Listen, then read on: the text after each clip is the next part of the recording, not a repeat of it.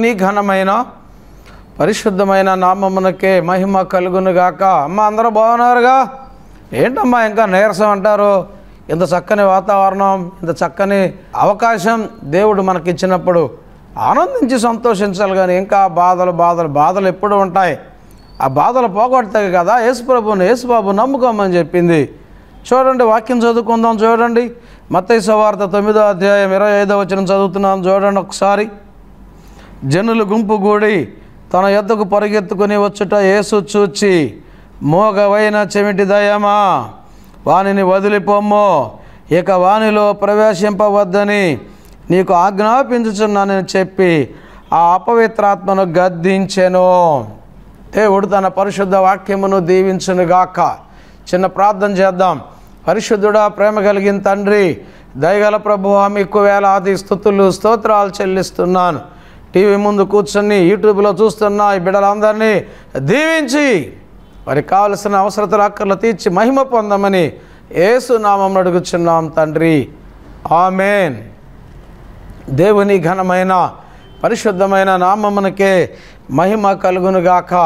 ప్రియమైన దేవుని బిడలారా ఈరోజు మన అంశం ఏంటంటే దయ్యాలు రోగాలు. పారిపోవాలంటే ఏం చేయాలి? చాలామంది ఈ లోకంలో దయపు శక్తుల చేత రోగాల చేత చాలామంది పీడించబడుతూ ఉన్నారు. దయ్యాలకి రోగాలకి పాపానికి రోగానికి చాలా దగ్గర సంబంధం ఉంది. కారణం ఏంటంటే ఆ రెండిటికి చాలా దగ్గర సంబంధం ఉంది. మురికికి రోగాలకి ఎలాగో సంబంధమో అలాగే కుళ్ళిపోయిన దానికి పురుగులకి ఎలాగో సంబంధమో కళేబరానికి గెద్దలకి ఎలాగ సంబంధమో పాపానికి రోగానికి కూడా అంత దగ్గర సంబంధం ఉంది. దయ్యాలకి పాపాలకి కూడా దగ్గర సంబంధం ఉంది. ఈ వదిలిపోవాలి అని అంటే అది మామూలుగా పోయేటువంటి కాదు. ఈరోజు అనేక మంది దయ్యపు శక్తుల చేత పీడింపబడుచు ఉన్నారు. లక్షణాలు. ప్రియమైన దేవుని బిడలారా చాలా ప్రధానమైన లక్షణాలు. వాళ్ళు ఏం చేస్తారో వాళ్ళకే అర్థం కాదు. ఇప్పుడు ఉన్నది కాసేపటికి మర్చిపోతారు. ఉన్నట్లుండి మెంటల్ పెరిగిపోతూ ఉంటుంది. అలాగే వాళ్ళ తలకాయ తీసుకెళ్ళి గోడ కొట్టుకుంటూ ఉంటారు. ఇతరులను కొడతా ఉంటారు. లేకపోతే ఉరి పెట్టుకో ఉరి పెట్టుకో నేను ఉరేసేసుకుంటా నేను చచ్చిపోతా నేను చచ్చిపోతా అంటూ ఉంటారు. లేకపోతే నీళ్ళలో దూకేస్తా నీళ్ళలో దూకేస్తాను అంటారు. లేకపోతే రైలు వెళ్తుంటే రైలు నుంచి దూకేస్తాను రైలు నుంచి దూకేస్తాను. నాకు బతకానం లేదు. నేను చచ్చిపోతా నన్ను ఆళ్ళు రమ్మంటున్నారు నన్ను నీళ్ళు రమ్మంటున్నారు అని చెప్పి వాళ్ళని కాపలా గాయలేక ఎక్కడ అగ్ని ఉందా? అగ్నిలో పడిపోతా అగ్నిలో పడిపోతా అందులో దూకేస్తాను అంటాడు. ఎక్కడ కరెంటు వైర్ ఉందా? వెళ్ళి కరెంటు వైర్ పట్టుకుంటా ట్రాన్స్ఫార్మర్ దగ్గరికి వెళ్తా నేను పట్టుకుంటా నేను పట్టుకుంటాను. వాడని కాపలా కాసేవాడి పని అయిపోయినట్టే. అలాగే ఇక్కడ బైబిల్లో కూడా తొమ్మిదో అధ్యాయ మార్క్స్ వార్తలో ఒక చిన్న పిల్లాడు అన్నాడు. ఒక ఒక మాదిరి ఏజ్ వచ్చింది వాడికి. వాడికి ఒక దయ్యం పట్టింది. వాడికి పట్టిన దయ్యం ఏంటంటే ఎక్కడ నీళ్ళు ఉంటే ఇలా నీళ్ళలో పడిపోతానంటాడు. ఎక్కడ అగ్ని ఉంటే ఎక్కడ అగ్నిలో దూకేస్తానంటాడు. నీళ్ళు డేంజరే అగ్ని డేంజరే. నీళ్ళలో మునిగినా చేస్తాడు అగ్నిలో పడినా కాలిపోతాడు. ఈ విధంగా ఈయన కాపులా గాయటానికి వాళ్ళ నాన్నకు మనశ్శాంతి లేదు. ఈ రోజున అనేక మంది యవనస్తులను బట్టి నమ్మండి అనేక మంది తల్లిదండ్రులకు నిద్ర లేని రాత్రులు గడుపుతూ ఉన్నారు. ఆ యవనస్తులు స్కూల్కి వెళ్తారో కాలేజీకి వెళ్తారో వాళ్ళు ఏం చేస్తున్నారో అర్థం కాని పరిస్థితి. రోజుకు ఒక గొడవ ఒక గొడవ తీసుకొచ్చి పెడతారు. ఇంకొకడేమో ప్రేమ ప్రేమ అంటాడు అదొక దయ్యం. ఇంకొకడేమో తాగుడు తాగుడు అంటారు అదొక దయ్యం. ఇంకొకళ్ళేమో బెట్టింగులు అంటారు అదొక దయ్యం. క్రికెట్ మ్యాచ్లకు బెట్టింగులు కట్టి గుర్ర పందాలకు బెట్టింగులు కట్టి లాటరీలు ఆడి డబ్బులు పోగొడతారు అదొక దయ్యం. మరొకళ్ళు పేకాట ఆడతారు అదొక దయ్యం. ఇంకొకళ్ళు స్నేహం చాకింగ్ చేస్తూ ఉంటారు మె మెడలో గొలుసులు దెబ్బేస్తూ ఉంటారు. అదొక దయ్యం. డబ్బు దయ్యాలు ఇవన్నీ కూడా. జలసాలు దయ్యాలు. గర్ల్ ఫ్రెండ్ కోసం బాయ్ ఫ్రెండ్ కోసం ఆడవాళ్ళకి దయ్యాలు పడుతున్నాయి మగవాళ్ళకి దయ్యాలు పడుతున్నాయి. చెప్పితే వినరు. ఎవరు వినరా బాబు అది మంచిది కాదురా అంటే అది తారు డబ్బాలాగున్నా ఏమైనా రంభ అంటాడు. తారు డబ్బాలాగున్నా అతనున్నా ఈడతులోక సుందరుడు అంటది ఈ దయ్యం మనుషుల యొక్క కళ్ళకు మనసుకు గుడ్డితనాన్ని కలుగజేసి ఆ దయ్యపు ఆధీనంలోనికి వీళ్ళని తెచ్చుకుంటుంది. ప్రియమైన దేవుని బిడలారా ఎంతోమంది డబ్బున్న కుటుంబాల్లో ఈ దయ్యాలు ఏరులతో ఉన్నాయి. వారికి ఉన్న డబ్బు ఏం చేయాలో అర్థం కాక పిల్లలకి ఇచ్చలవిడిగా ఇచ్చేయడం వాళ్ళు ఇష్టానుసారంగా ఖర్చు చేయడం జలసాలకు అలవాటు పడి దయ్యాల చేతుల్లో చిక్కుకుపోవడం ఈ దయాల చేతుల్లో చిక్కు పడలేక ఏం చేయలేని పరిస్థితుల్లో ఒక్కొక్కడైతే మోటార్ సైకిల్ తీసుకుని వెళ్ళి టక్కుకు గుద్దేస్తాడు. ఇంకొకడైతే రైలుకు గుద్దేస్తాడు. చూసుకో అంటాడు. కాస్ట్లీ ఫోన్లు పెట్టుకుని రైలు వెనకాల వస్తుంటే ఎదర రైలు ముందు నుంచి సెల్ఫీ అంటాడు. రైలు పక్క నుంచి సెల్ఫీ అంటాడు. నది పక్క కూర్చుని నా ఫోన్లో ఫోటోలు సూపర్గా వస్తాయి అన్ని దయ్యపు చేష్టలే. అవి ఎప్పుడు కూడా మనిషిని పతనం చేయాలి. మనిషిని నాశనం చేయాలని చూస్తాయి. అలాంటి దయ్యపు చేష్టల్లో ఎక్కువగా ఇరుక్కుపోయేవారు ధనికులైన పిల్లలు. అలాగని పేదవాళ్ళు ఇరుక్కుపోవట్లేదు అని అంటల్లా? ఎక్కువ శాతం ఆ విధంగా జరుగుతుంది కనుక చాలా జాగ్రత్తగా ఉండవలసిన పరిస్థితి. చాలామంది ఎన్ని మొక్కుబళ్ళు మొక్కుతారు ఎన్ని తీర్థయాత్రలు చేస్తారు ఎంతో కటిక ఉపవాసాలు ఉంటారు. పిల్లలు జలసాలు చేస్తూ ఉంటే తల్లిదండ్రులు కట్టిక ఉపవాసాలు చేస్తారు. మా అబ్బాయి మారాలి మా అమ్మాయి మారాలి కొంతమంది అయితే తల్లిదండ్రులను తంతారు. తల్లిదండ్రులు ఎదురుగానే వెచ్చలవిడిగా చేష్టలు చేస్తుంటారు తల్లిదండ్రులు ఏంటి అని అడిగితే వాళ్ళ దంతాకి వెళ్ళిపోతుంటారు. కొంతమంది తల్లిదండ్రులు తల్లిదండ్రులను చంపేస్తున్నారు. మందుకు డబ్బులు ఇవ్వలేదనో ఆస్తి రాసి ఇవ్వలేదనో ఈ రోజున పేపర్ చూస్తే ఇవన్నీ ఇవే. ఇవన్నీ కూడా దయ్యాలు చేసే పనులు. దయ్యాలకి దయాదాక్షిణ్యం ఉండదు. దయ్యాలకు కనికరం ఉండదు. దయ్యాలకు తనామాన ఉండదు. దయ్యాలకు సిగ్గుసారం ఉండదు. చూడండి కొంతమంది రోడ్ల మీదే ముద్దులు పెట్టుకుంటా కొంతమంది రోడ్ల మీదే పిచ్చ వేషాలు వేసుకుంటా బండి మీద ఎక్కుతారో వాళ్ళు ఈపి మీద ఎక్కుతారో అర్థం కాని పరిస్థితులు యవనస్తులు చూస్తూ ఉంటే వాళ్ళు ఎక్కడెక్కుతారో అర్థం కాని పరిస్థితి. అసలు ఏమీ ఇది లేకుండా విడిగా ఇవన్నీ కూడా దయ్యాలు చేసే కార్యాలు. పార్కుల్లోకి లేకపోతే అక్కడికి ఏకాంతం ఉన్న ప్రదేశాల్లోకి ఖాళీ ఉన్న రోడ్డుల్లోకి తీసుకుపోతాయి ఈ దయ్యాలేళ్ళని. వీళ్ళు ఏం చేస్తున్నారో వెళ్ళేవాళ్ళు వచ్చేవాళ్ళు చూస్తూనే ఉంటారు కానీ వీళ్ళకి సిగ్గు శరం ఉండదు. ఈ దయ్యపు శ్రేష్ట అలా ఉంటాయి శానా దయ్యాలు పట్టిన వాడు అలాగే కదా పరిస్థితి. బట్టలు వేసుకోకుండా శ్మశానాల్లో బతికేవాడు ఎంతమంది ఈ రోజున ఇంట్లోకి రాకుండా క్లబ్బుల్లో బతుకుతున్నారు. సినిమా హాల్స్లో బతుకుతున్నారు వేశ్య కొంపల్లో బ్రతుకుతున్నారు ఎంతమంది పేకాట కొంపల్లో బతుకుతున్నారు ఎంతమంది కోడిపందాల డేరా డేరాల్లో బతుకుతున్నారు ఎంతమంది బెక్కి బెట్టింగ్ సెంటర్లో బతుకుతున్నారు వీళ్ళు ఇల్లు వదిలిపెట్టి అక్కడ బతుకుతుండడానికి కారణం దయాలో. ఆ దయాల నుండి విడుదల పొందాలంటే నువ్వు దేవుని మందిరానికి రావాలి. ఆ దయాల మీద అధికారం కలిగిన దైవ సేవకును నువ్వు ఆశ్రయించాలి. ఒకవేళ నీకు శక్తి ఉంటే ఆ దయ్యాలు ఎలగొట్టే శక్తి ఉంటే నువ్వే ప్రార్థన చేయి. ఆ దయ్యాన్ని పారదోలు. అప్పుడు వాటి నుండి నిన్ను విడిపిస్తాడు. ఇక్కడ శిష్యుల దగ్గరికి తీసుకొని వస్తాడు ఈ కుర్రవాడిని అయ్యా వీడు వీడు మాట వినడం లేదు. వీడు పడిపోతున్నాడు. నీళ్ళలో వీడు పడిపోతున్నాడు. అగ్నిలో వీడిని బాగు చేయమని శిష్యుల దగ్గర తీసుకొస్తే శిష్యులు ప్రార్థన చేస్తారు. అదేం పోదు. నీ వల్ల కాలేదని చెప్పి యేసుప్రభు దగ్గరికి తీసుకొస్తారు. యేసుప్రభు అడుగుతాడు వీడికి ఇది పట్టి ఎంతకాలం అయింది? ఏం చేస్తుంది? అయ్యా బాల్యము నుండి ఏ అయ్యా? ఈడు ఎక్కడ అగ్ని ఉంటే అక్కడ పడిపోతాడయ్యా. ఎక్కడ నీరుంటే అక్కడ పడిపోతాడు మనశ్శాంతి లేదయ్యా. నెమ్మది లేదయ్యా.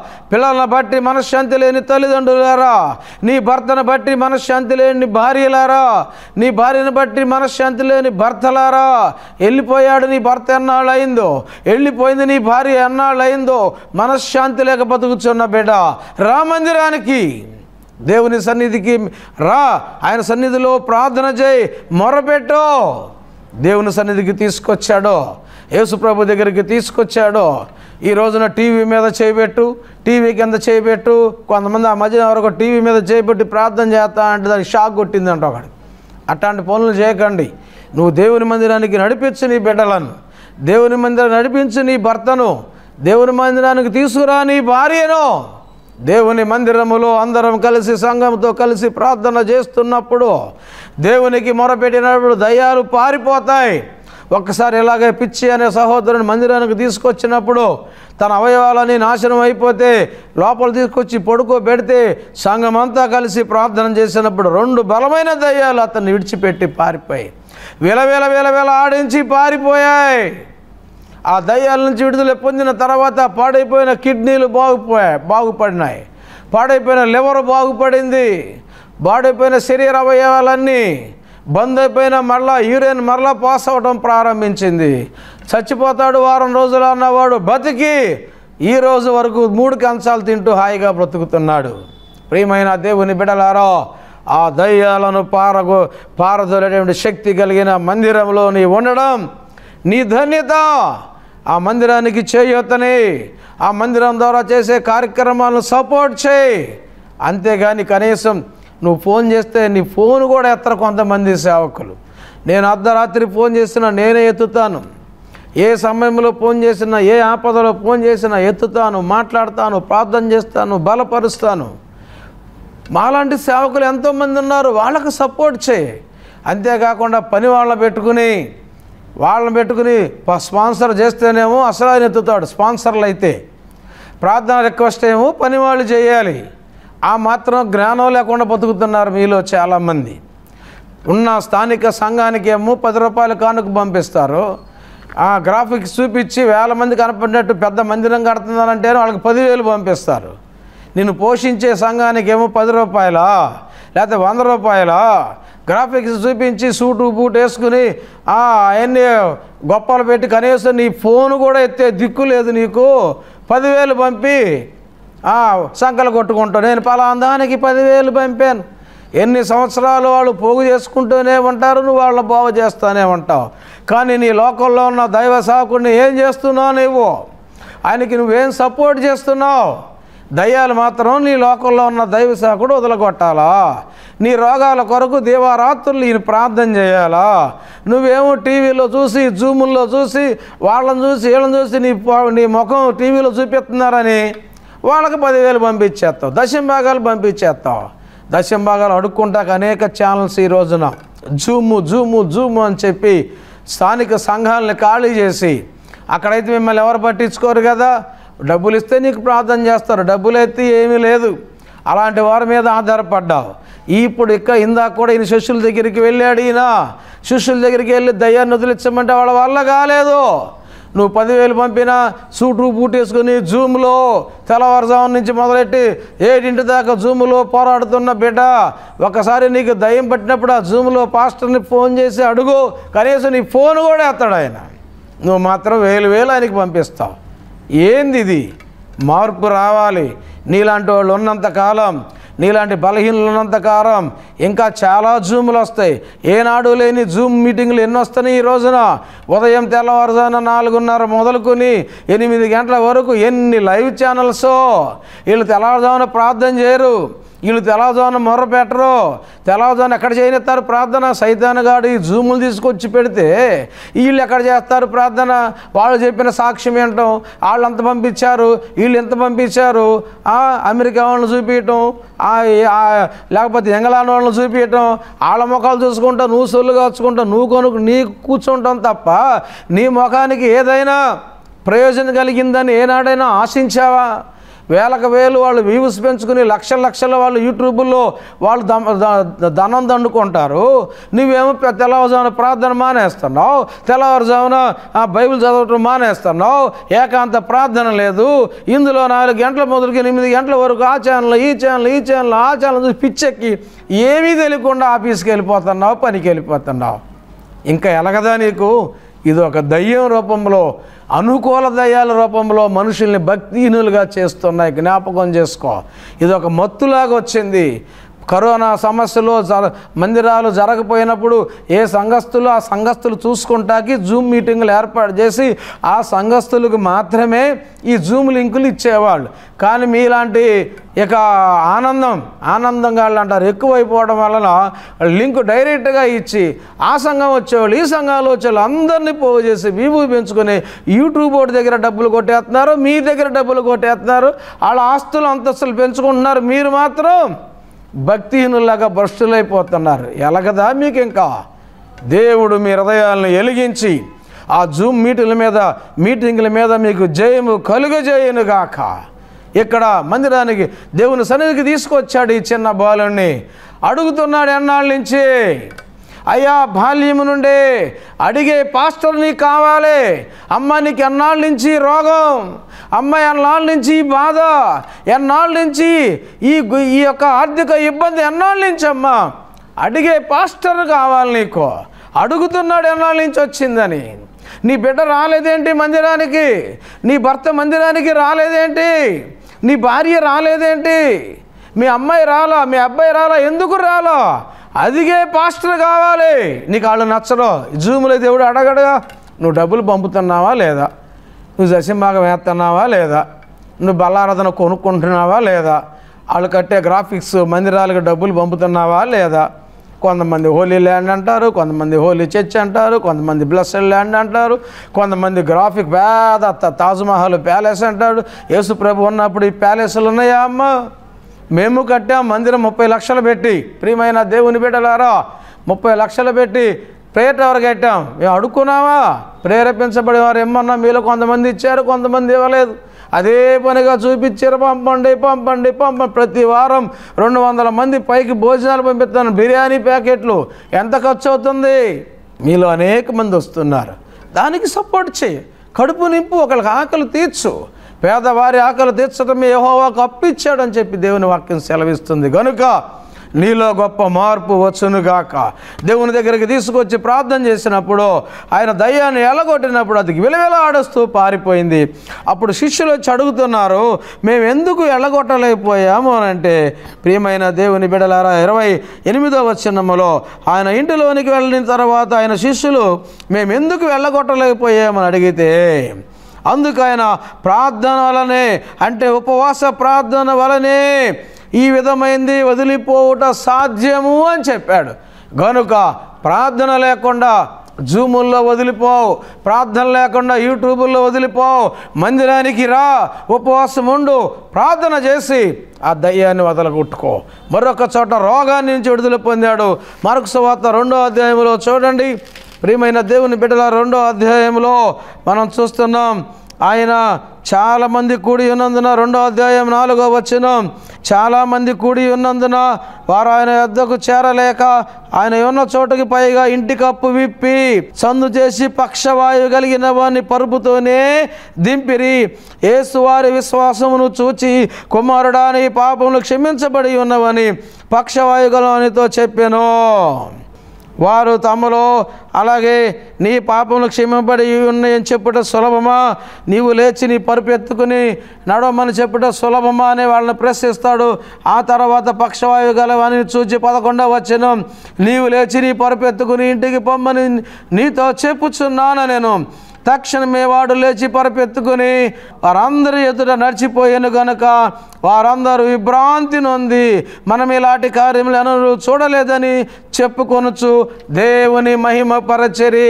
హాలేలుయా దేవుని సన్నిధికి వచ్చిన తర్వాత ఆయన పాపాలు క్షమించబడిన తర్వాత పక్షవాతం నుండి విడుదల కలిగింది. అంటే నీ రోగం పోవాలంటే నీ పాపం పోవాలి. నీ పాపం పోవాలంటే దేవుని మందిరానికి వచ్చి పశ్చాత్తాపడి ప్రార్థన చేసి నువ్వు మారు మనసు పొందినప్పుడు పాపక్షమాపణ పొందినప్పుడు నీకు మంచి ఆరోగ్యాన్ని దేవుడిస్తాడు. గనుక ప్రియమైన దేవుని బిడలారా ఇప్పుడుకైనా మందిరానికి వెళ్ళకుండా ఇంట్లో కూర్చుని జూములు పెట్టుకుంటున్న బిడ్డ తెల్లవారుజామున ప్రార్థన మానేసి జూముల్లో తలముఖంలో దొల్లాడుతున్న బిడ్డ లే! తెల్లవారుజామున లేచి ప్రార్థన చేయటం ప్రారంభించు. నీ మందిరానికి క్రమం తప్పకుండా ఎల్లో. బుధవారం పెడుతున్నారా? శుక్రవారం పెడుతున్నారా? శనివారం పెడుతున్నారా? మంగళవారం పెడుతున్నారా? ఏ రోజు పెడుతున్నారా? ఆదివారం పెడుతున్నారా? అన్ని కోటాలు అటెండ్? దేవుని సన్నిధిని అనుభవించి దయాల మీద విజయం పొందుకో. అలాగే రోగాల మీద విజయం పొందుకో. అంతేకాని అక్కడ మీటింగ్ కానీ ఎక్కడ మీటింగ్ కానీ ఆ యూట్యూబ్లో ఆ ఆ సేవకుడు గొప్పోడు ఈ సేవకుడు గొప్పోడు అని ఆళ్ళమ్మటి ఈళ్ళమ్మటి తిరగవా. చక్కగా నీ స్థానిక సంఘంలోనూ నిలకడగా ఉండి దైవజనునికి చేదోడు వాదోడుగా ఉండు. పరిచర్యలో చూడు మందిరం తుడు. చక్కగా సండే స్కూల్ పరిచర్యలో ఉండు సువార్త పరిచర్యలో ఉండు. అద్భుతమైనటువంటి దీవెనలు సంపాదించుకో. ప్రియమైన దేవుని బిడలారా మాకు ఒక వ్యాన్ ఇచ్చాడు. చక్కగా అనేక మంది మీ ప్రాంతాల్లో కూడా రమ్మంటే మేము ఆ వ్యాన్ వేసుకుని వచ్చి మీకు సువార్తను ప్రకటిస్తాం. కాబట్టి మీరు కూడా మా పరిచర్యలో పాలిభాగస్తులు కావండి మా అన్నదాన పరిచర్యలో అలాగే మా సువార్త వ్యాన్ పరిచర్యలో దానికి కావలసిన మెయింటెనెన్స్ దానికి కావలసిన అమౌంట్ ఫైనాన్స్ కట్టడానికి ఇవన్నీ కూడా వీళ్ళు కొంతమంది చిన్న చిన్న కానుకలు పంపుతున్నారు. నెలకు రెండు వందలు మూడు వందలు ఐదు వందలు అలా పంపటం వలన ఇవన్నీ అన్నదానం చేయగలుగుతున్నాం. అలాగే సువార్త పరిచర్య చేయగలుగుతున్నాం. అలాగే శుక్రవారం స్వస్థత కుడికలు ఏర్పాటు చేస్తున్నాం.